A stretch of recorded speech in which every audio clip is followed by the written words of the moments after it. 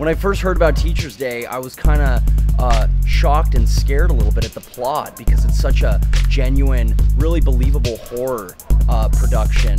Um, and, and, Jared does it very convincingly. And so I, I, immediately wanted to be involved with the project, and getting the opportunity to play Luke really kind of fit into kind of um, I, I, guess my, my personality fits the fits the char- fits the character, so it's an easy um, transfer into it.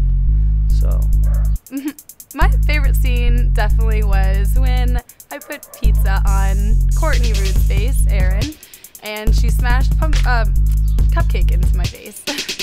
that was really that was entertaining, and uh, especially when it got a little messy, we just we just laughed about it. It's not anything to be serious about. So I had a really good time with that, and I'm sure there's more that's gonna be great. When I first heard about it, um, well, I'd read the script first and I loved it. It's totally different than anything I've ever um, come across. I'm a huge fan of Jared's work, so being able to be a part of one of his projects is just, um, it's a blessing. I mean, there's definitely funny aspects to the script, um, which everyone will be able to see, but I mean, you know the premise of what goes on, it's pretty dark. I mean, it's not really hysterical to think about people being killed. but My favorite scene would have to be when we all had our little dance party and painting party with each other in the room. It lasted, it should have lasted probably 15 minutes, but it took us an hour to shoot because we were all just clowning around.